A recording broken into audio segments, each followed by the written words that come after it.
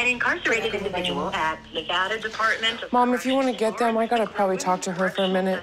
I love you. Okay. Yeah. So I'll just. And we'll talk. We'll talk later tonight.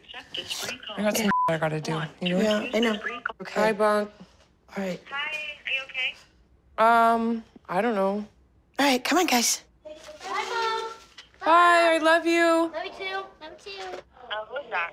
My mom. She's taking the kids because Marcelino's gonna come over here, and I don't want to fight in front of them. Sascha's a really good friend of mine. Our bond is like unbreakable because we were together for so long. I just don't see prison for you, man.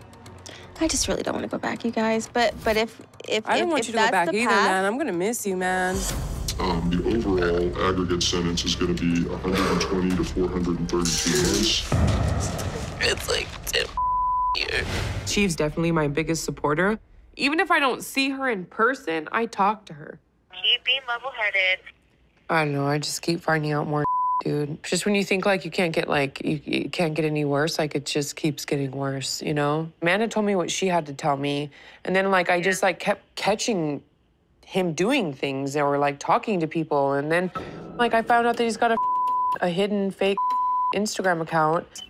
And he requested to follow this like escort hooker slash porn star who does bookings. And the bitch looks like a man. She accepted his uh, request, and he went out that night at like 8:45. He had showered, shaved.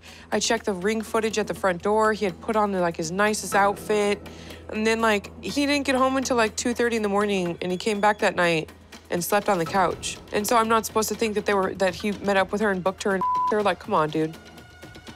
I, I, can't, I can't even imagine. I'm definitely here for you. I'll call you every single day. I love you, Bunk. I love you too so much. How much more time do you have, Bunk? Oh, three more years, girl. Sorry. Oh God. Keep your head up. Okay, bye. Bye.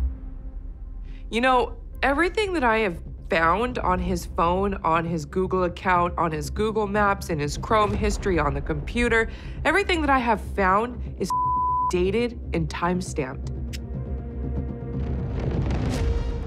When I go back to those things and those times, I see that like he's sitting on the on another couch in the same living room with me, looking for a quick